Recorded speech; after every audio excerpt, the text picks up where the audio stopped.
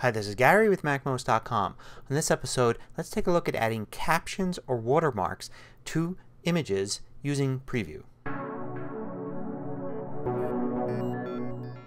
So say you want to add a caption or a watermark to a photo. So I'm going to start off here in the Photos app and just drag out to the desktop a JPEG image. You could of course start with the JPEG image already as a file but I just wanted to show that in case you're starting from there. Then I'm going to open this up in Preview which is the default app for opening up a JPEG file or most image files. Uh, if not I could have always just opened up the Preview app and then used file open from in there to grab it or dragged and dropped onto it. So I've got my image now. It's a JPEG and I want to add uh, some text to it. So now we want to turn on the markup tools and it's this little markup toolbar button here at the top. Um, once we turn that on we now have a whole set of tools here including the ability to add text. This little T here is the text button. If I tap that it creates a piece of text and then I can drag that anywhere around on the screen.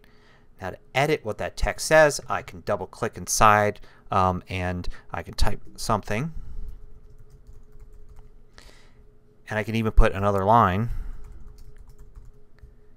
like that and I tap away and I could go back and drag this. I can edit it again uh, and I can then use these tools here to change the font for instance um, and I can make it uh, bold if the, the font has that. So let's uh, go to something like Arial and we can bold it. I can change the size. I can center it in that box or justify it. And I can change the color of it as well. And then I can also, with it selected, change other things about it. Like for instance, here I can change the background color of the box that it's in. And I can also change the border color. So you can do that if you want. The only thing you can do here, this is changing line styles. And if you're drawing lines instead of text, you can use this. But you can use the drop shadow there. And now you'll notice that it's got a slight drop shadow under it. A bit hard to see. There we go. You can see the drop shadow which helps a lot when the colors are kind of about the same. So we could see if we can change this to a color that's similar.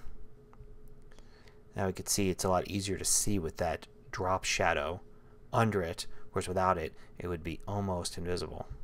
Now what happens when I save this out? I'm going to just do a regular save and I've got the original file right here. So let's close it and then open it again.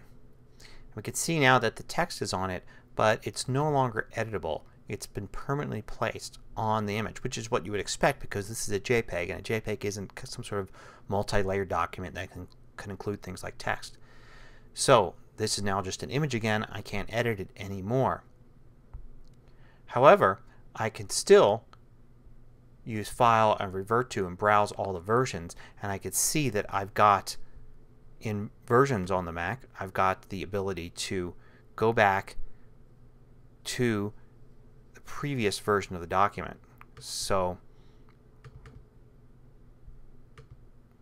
there we go. I can go back to that one and you can see I can restore it and now I've restored it here with that text gone. I just can't edit it. I have to be able to uh, just revert to a previous version or use the current one that has the text embedded on there. Now if I wanted to put some sort of watermark then it would make more sense uh, to create something that had a little bit smaller font and then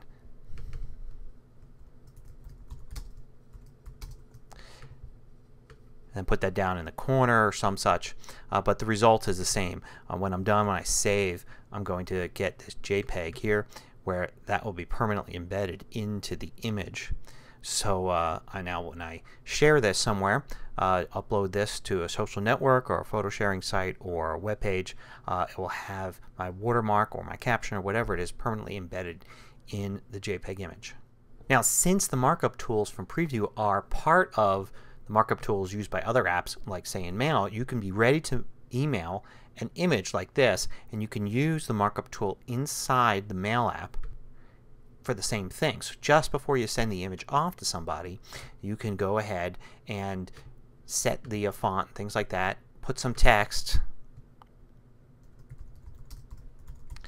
and do whatever you want with it. So you could, uh, for instance, uh, just if you just want to send somebody a sample, you could just put a watermark or a caption of some sort right in the middle of the photo there, uh, hit done, and they're going to get a JPEG image that is just a plain JPEG that has this embedded into the photo here.